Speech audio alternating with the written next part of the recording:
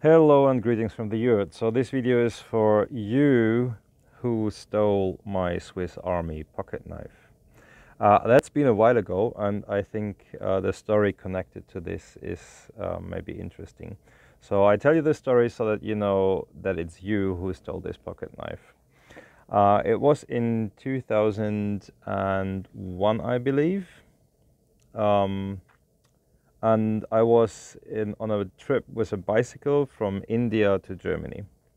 Or let's say from a place that our species, from the places that our species calls India and Germany. So I was hanging around in Pakistan waiting for my visum to get into Iran.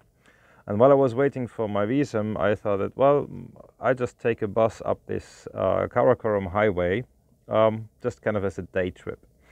So I was in this bus um, and went up this Karakoram highway to some point and then returned with the same bus. And the Karakoram highway, if you don't know it, um, it doesn't really deserve in many places, or I guess in most places, the name highway, at least not back then.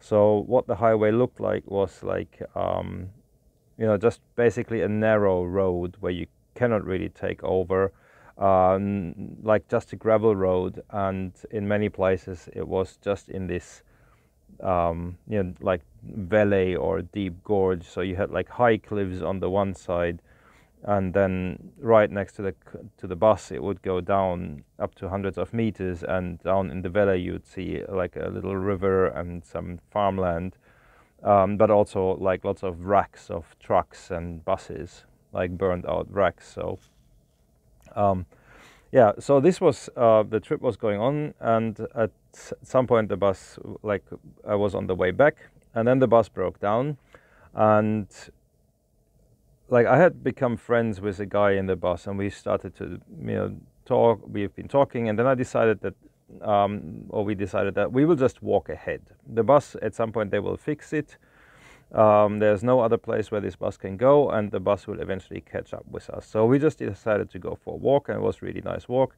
At some point, the bus caught up with us, and when I went uh, back to my seat, I noticed that in my bag that I, for some stupid reason, left behind, um, that it was opened, um, like it was this little kind of ditty bag or something.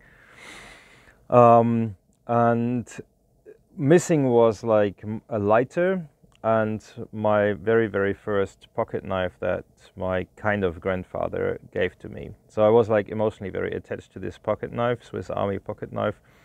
And uh, then at some point came this police uh, checkpoint. There are you know there were frequent these police checkpoints where they put up um, some you know like a chair and a table and there's this police officer surrounded by gun- guys with guns and then everybody in the bus lines up and gets their passports checked and and when this guy looked at my passport, he's, oh, Alemania, Alemania, how do you like Pakistan? And very friendly and very nice. And it's like, oh, it's a wonderful country. Um, and, and then I said this sentence that I really should not have said. I said, like, I'm, I'm just a bit sad in the moment because somebody just stole my pocket knife. So what happened next was a nightmare. Uh, it was really a horrible story, um, and I feel really bad about this because it was just a pocket knife. Um, so what happened was that these officers' alarm bells went on. The pride of Pakistan is in danger, and now I'm going to show this young tourist chap, uh, backpacking guy, um, how we are dealing with this. So he put all his gunmen, like guys with Kalashnikovs, in the bus, ordered all the windows closed, and the guys were standing in the bus with the, with the, you know, with the guns in their hands, and watching everyone closely. And then the bus started driving for what seemed like an eternity, at least a couple of hours, to some police fortress somewhere in a, you know, it was a bit flatter land and it was like really, I would say desert. so it was very dry and it was like so hot. It was unbelievably hot, um, and the windows were closed, and there were like families and uh, children, and the children were crying in the bus because it was so hot. It was horrible, horrible, horrible, and I felt so bad.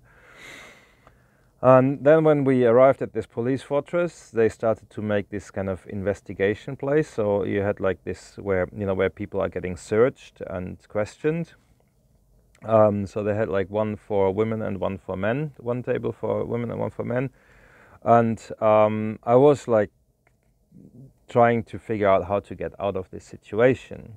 So I was like all the time on the heels of this police officer and telling him that, oh, this is so interesting uh, how you're doing all this work.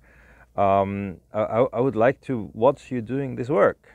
So uh, how you're doing these things. Uh, I just wanted to be there that in case they find the knife, that I would be there and I could say, no, this is not my knife. Because I was afraid that somebody would be, you know, getting a hand chopped off or I don't know what could have happened. So um, yeah, and then then this um, all these um, people were searched, and one guy had a, the lighter. Uh, I recognized the lighter, um, and I didn't, of course, say anything. The knife wasn't found, so um, I I really really hope that if you're watching this video, if you know this by coincidence is being shared to you, please enjoy this knife. Uh, don't feel bad about taking it. Um, I, I don't believe that it's possible to own anything. Property is a weird human idea. Um, so now it's in your use, and I hope it's in good use. Um, and I have actually another knife, so uh, actually more than one. So I have more knives than I personally can use. So please enjoy this knife, um, and yeah, have a good time. Love you. Bye bye.